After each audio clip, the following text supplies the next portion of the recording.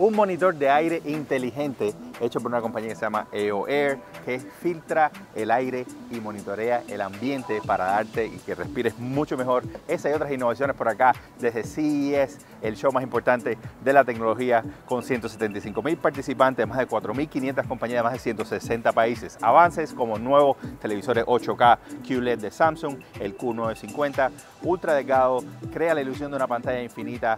Todo el contenido se ve en 8K porque utiliza inteligencia artificial y tiene un sistema de sonido surround sound. Nuevo drone Power X de Power Vision, ahora aterriza en el agua y es a prueba de agua. Utiliza también inteligencia artificial y tiene una resolución de 4K. Los espejos inteligentes, la belleza por acá, importante. El High Mirror Slide analiza tu piel, utiliza una cámara, monitorea las arrugas, manchas y te da consejos de salud y puedes ahora hasta ordenar tus productos de belleza.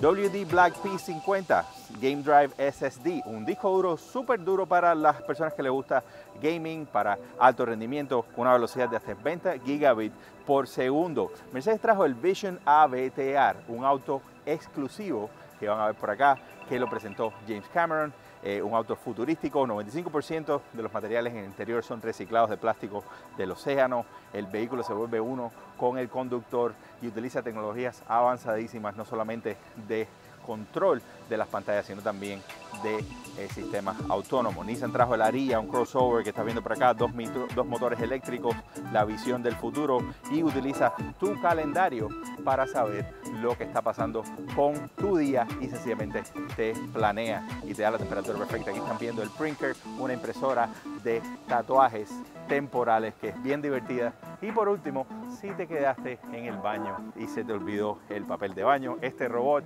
te lo va a traer y por supuesto eh, algo que no nos puede faltar. Se despide ustedes, Ariel Coro, desde el Consumer Electronic Show. Muchas gracias.